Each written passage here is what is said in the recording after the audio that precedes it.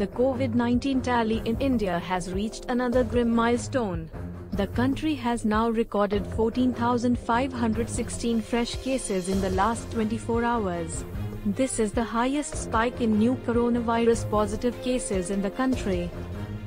The total number of people infected with coronavirus in the country now stands at 3,95,048. The total number of fatalities has also increased by 375 in 24 hours. The total number of deaths in India now stands at 12,948.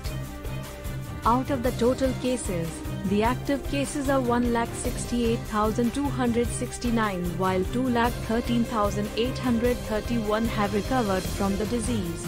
The percentage of people recovered has now reached over 54%. Maharashtra registered the maximum number of new cases with 3,827 fresh coronavirus positive people in the state. The tally in the state now stands at 1,24,331 people. Out of these, 55,665 are active whereas 62,773 have been cured or discharged.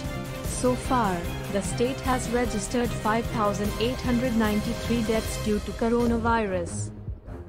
Delhi has also shown a substantial amount of new cases in the past 24 hours. There are 3,137 fresh cases registered in the capital.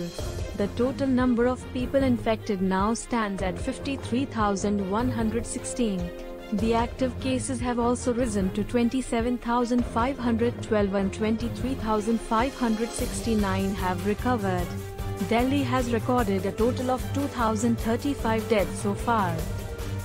Tamil Nadu registered 2,115 new cases in the last 24 hours and the tally now stands at 54,449.